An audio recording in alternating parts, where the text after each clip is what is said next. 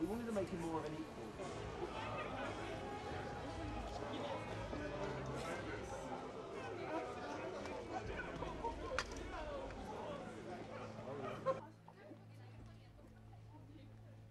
"暴走する天才ホームズと冷静なワトソン正反対な性格であ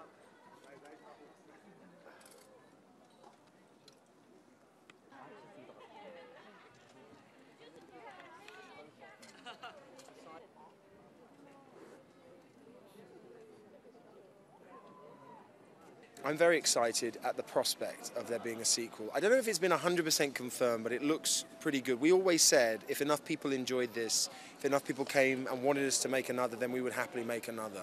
And it looks like that's going to be the case. I don't know for sure. Um,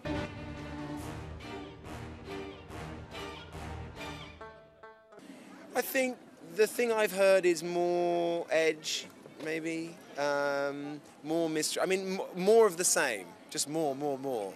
Uh, and um, you know, the, the the beautiful thing about this. As, as, a source is that there is so much material that Conan Doyle gave us to draw from. So if, if we get to go on another adventure, then there are you know these wonderful books from which we can pick and choose the best elements, and we can still give it that um, or our polish, if you like, that, that made this particular to, to, to our interpretation.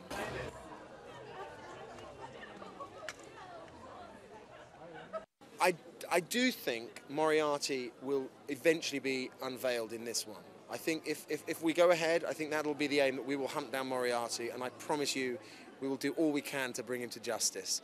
Um, whether it'll be Brad Pitt, I have no idea. That's as big a mystery as whether we'll find Moriarty or not.